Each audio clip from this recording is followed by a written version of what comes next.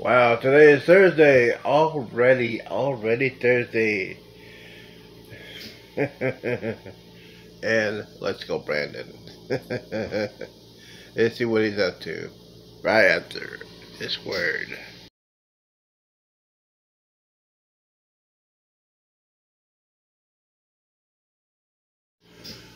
Good morning, good afternoon, good evening. Welcome to the show. Real quickly. Hey man, there's some news going on. Oh, yep. Let's go, Brandon. Took off with Air Force One. Going to Asia.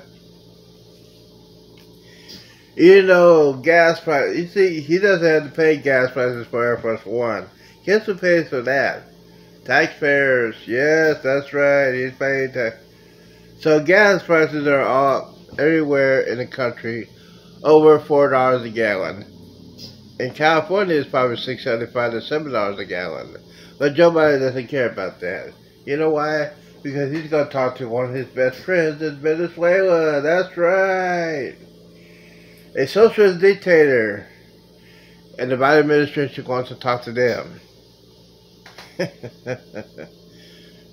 we can't drill in our oil soil, but he wants to go get oil from a socialist dictator.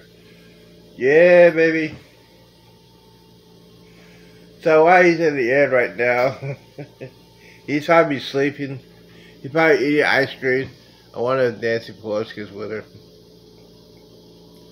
But the thing is, you're president of the United States. Gas prices are sky high. There's formula shortage for babies.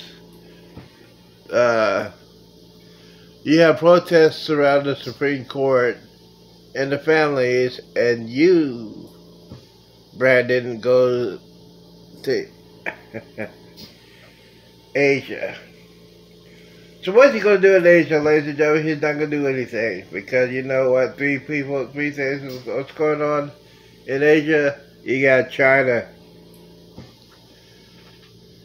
You got North Korea.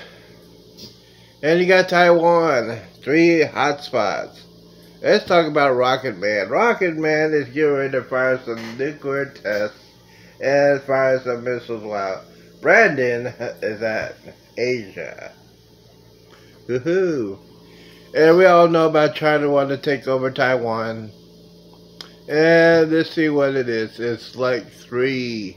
It's like pre December 7th, 1541. Because our Navy is not as big like it used to be. You know what? Here's the real thing. China's Navy is bigger than ours. Scary as fuck. Scary things, though. You know, gas prices are so high, most of the Navy ships that are not nuclear are not cruising now. They're not on duty. Think about this, ladies and gentlemen. You know who I thank for all this? I thank all the knucklehead Democrats that voted for Joe Biden. Way to go. Way to go. Alright, guys. Thanks for watching. You have a good day. And remember, do not drink and drive. And do not hang around with knuckleheads who do. I'm out of here.